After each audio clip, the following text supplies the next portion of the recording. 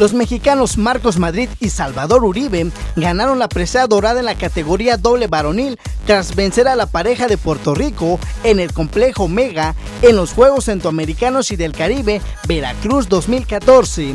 Los aztecas se levantaron en la final tras perder el primer set 12 a 10 en el segundo fue con marcador de 11 a 8 para los tricolores y en el tercer y cuarto se consolidaron como los campeones del evento.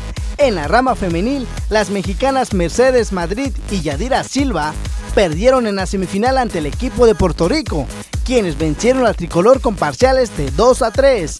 De esta manera, automáticamente las mujeres garantizaron la presea de bronce, debido a que los dos equipos derrotados en esta etapa suben al podio. Para MBM Deportes, Alan Pacheco.